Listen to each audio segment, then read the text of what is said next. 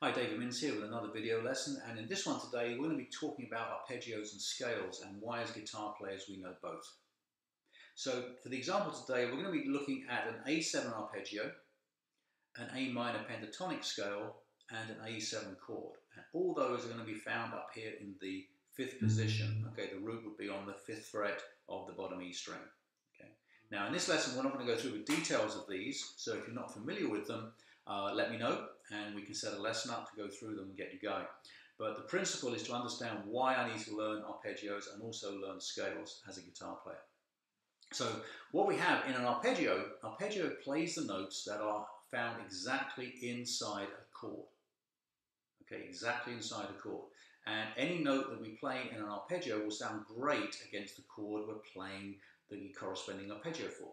So in our example, A7, Okay, if I play an A dominant 7 arpeggio,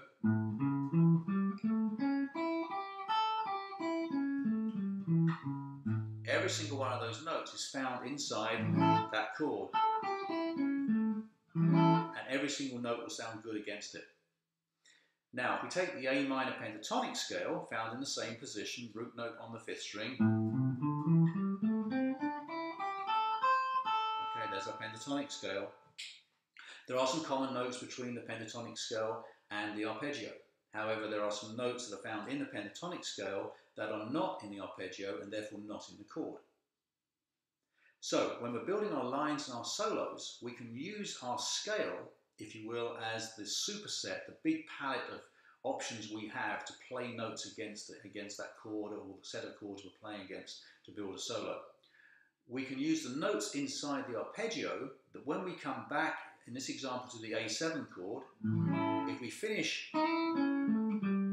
any on any of those notes out of the arpeggio, the line you're playing or the solo you're playing will sound resolved correctly and sound extremely cool. Now, there are times when you don't want it to resolve correctly, you want it to be a little bit edgy, a little bit on the outside, and that's fine. But this discussion today is why we need to learn the arpeggios.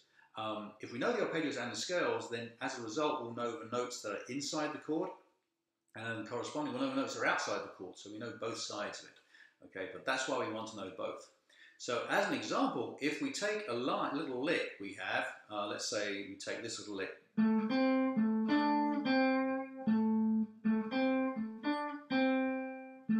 I'm finishing back on the A. Okay, that little line comes out of the pentatonic scale and resolves back to the A. So it sounds okay.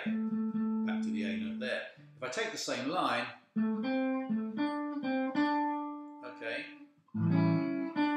against the A chord, I finish back on the D note.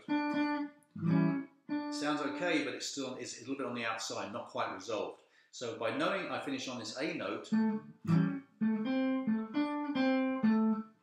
right inside the pocket, as we would say, we can also resolve it to the, say, the C sharp, which would be the sixth fret on the uh, third string arpeggio.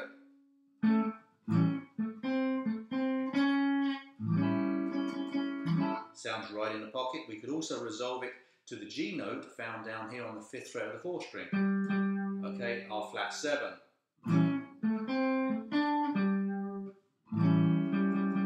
Right inside the chord, so the note fits. We can also maybe take a little line that actually combines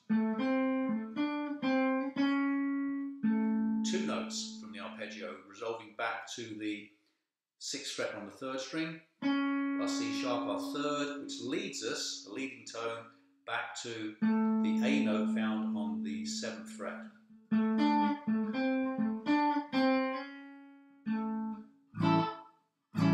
Sound resolved. So that's the difference why, between the arpeggios and the scales. And as guitar players, we really want to know both. Um, so I hope this is helpful to you. Um, drop me a line if you like it. Drop me a line if you don't. You have comments, that's equally good. Uh, and if you'd uh, like to talk about any of the, uh, the shapes and patterns we've used, let me know. And uh, we'll talk next time. Take care. Bye bye.